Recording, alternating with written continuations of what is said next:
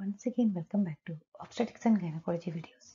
Today we are going to see about AIDS in pregnancy.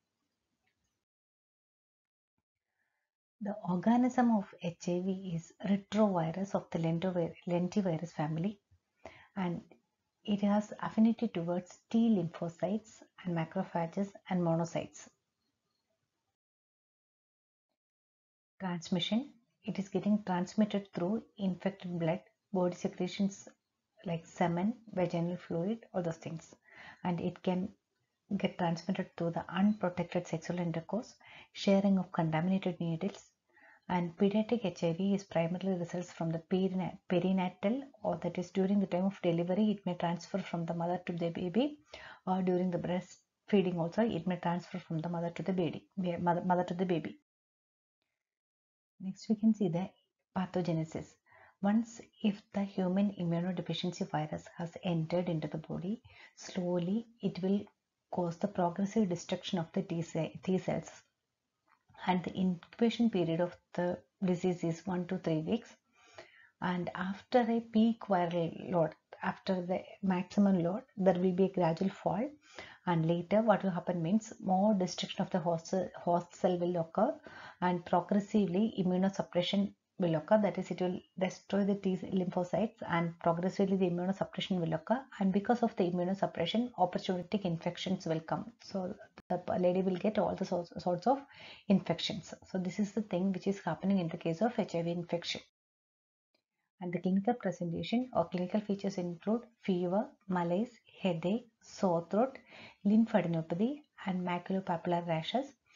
And constitutional symptoms like weight loss, lymphadenopathy or protracted diarrhea will be there and multiple opportunistic infections with candida, tuberculosis, pneumocystitis and others also will occur because of the immunosuppression.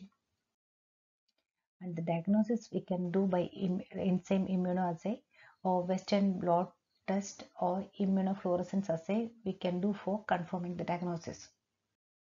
Management during the prenatal period or in the prenatal care, voluntarily the lady should undergo the testing for HIV and once if they have diagnosed as posting, they should undergo the counseling. And they should be assessed for the CD4 and T lymphocytes count.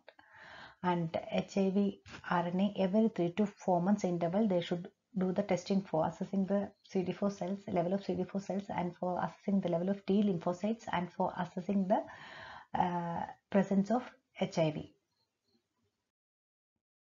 And once if they have diagnosed, we can start highly active antiretroviral therapy that is HAART. So it includes first composition, it includes nucleoside reverse transcriptase inhibitors the drugs which are coming under this category include zidovudine, zalcitabine, lamivudine, stavudine.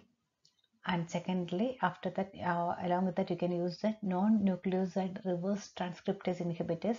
This include nevirapine, delavirdine, and protease inhibitors also we can give. This protease inhibitors examples include indinavir, sacubitril, and ritonavir.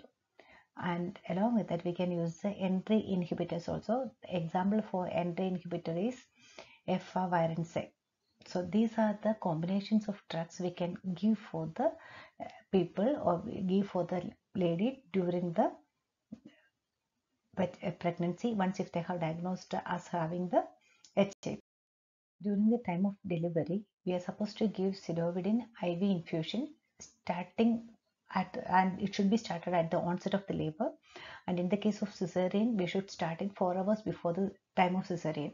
And the loading dose is 2 milligram per kilogram and it should be continued until the cord clamping is done and we usually we are not supposed to do the amniotomy or oxytocin augmentation for the vaginal delivery because if we are doing that there is a chance for transmission of HIV from the mother to the baby. The transmission rate will increase. And elective cesarean delivery is recommended at 38 weeks. In the case of women those who are receiving the uh, antiretroviral therapy and the postpartum period we can advise a woman to breastfeed the baby and zidovudine syrup 2 mg per kilogram is given to the neonate four times daily for the first six weeks of life So these are the things we can do for managing the HIV infection during the pregnancy and during the time of delivery and for managing the babies, those who born for the HIV infected mothers. Thank you for watching this video. See you soon with a new video. Bye.